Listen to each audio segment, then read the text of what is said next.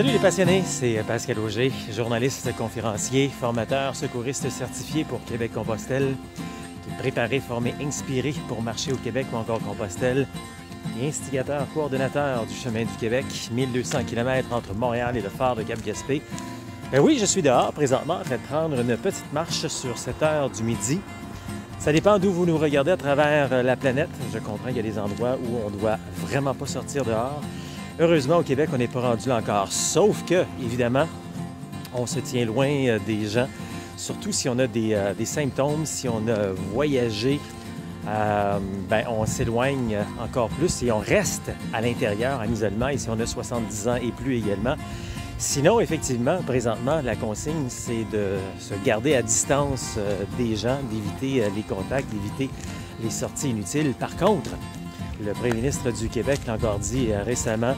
Euh, les, euh, les, médecins, les spécialistes également le disent. Oui, on peut prendre de l'air, on peut aller prendre une marche, mais pas d'attroupement, pas de regroupement de dizaines et de dizaines de personnes. Tout ça est arrêté et tout.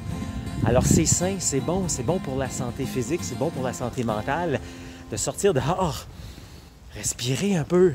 C'est pas l'air qui, qui a un problème, c'est nous tous qu'on peut se transmettre tout ça. Donc évidemment, on fait attention pour ne pas se, rapprocher euh, des gens. Alors profitez-en quand même tout en étant prudent et surtout ne pas avoir d'attroupement. C'est ça qui est vraiment important.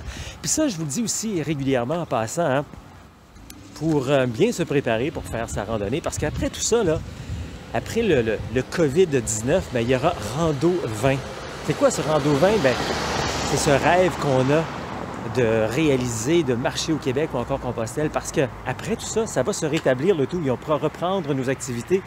Et tu as ce rêve justement d'aller marcher au Québec ou encore Compostelle, bien, peut-être que présentement on peut plus se regrouper, mais on peut quand même faire des, euh, on peut quand même faire notre formation en ligne. Ça, je t'en parle depuis des semaines et des semaines également, hein, que c'est possible d'avoir toute une formation complète en ligne. C'est disponible via québeccompostelle.com. Une formation de près de 4 heures que tu peux regarder dans le confort de ton foyer, alors que présentement, c'est ce que plusieurs personnes font.